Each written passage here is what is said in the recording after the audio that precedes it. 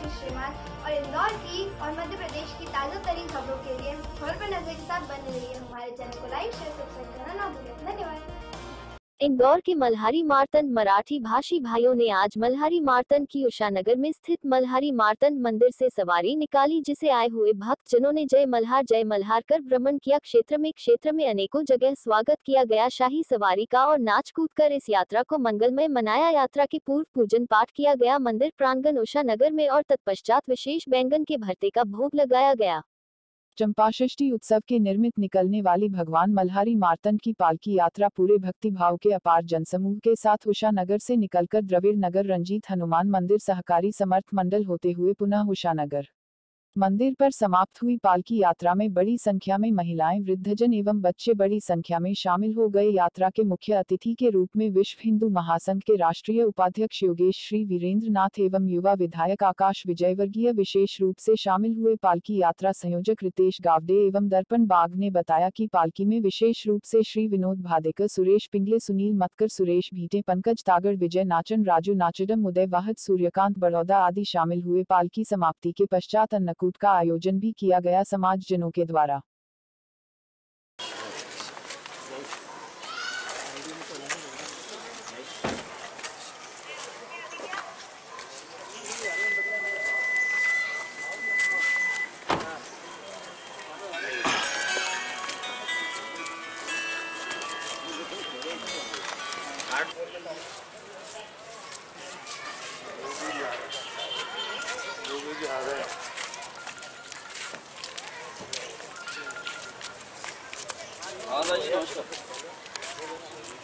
Hello.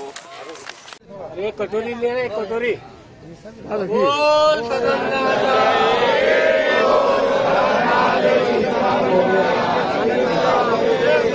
नऊ लाख पाहिल्या सोन्याची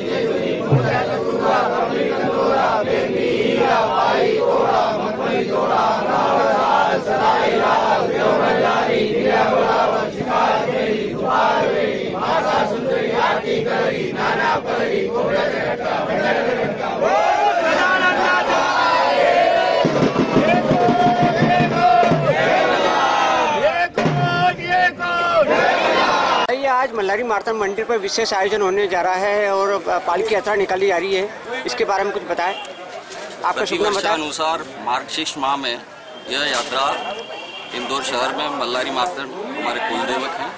उनके नगर भ्रमण के उपलक्ष्य में कराई जाती है। और इस माह भी कोविड प्रोटोकॉल को ध्यान में रखते हुए यह यात्रा उषा नगर मंदिर परिसर से मल्लारी मार्तन मंदिर परिसर से उषा नगर में ही समापन किया जाएगा। अच्छा और ये इस यात्रा को विशेष तौर से आज ही के दिन निकाला जाता है इसको लेकर? इसमें मार्गशीर्ष माह में चंपा षष्ठी उत्सव मनाया जाता है। उसका विशेष महोत्सव है और उसी उपलक्ष्य में मल्लार को बैंगन का भरता ये भोग लगाया जाता है। सभी भंडार भक्तों से निवेदन है आपका शुभ नाम दर्पण वाघ. सभी भंडार में बैठकर सभी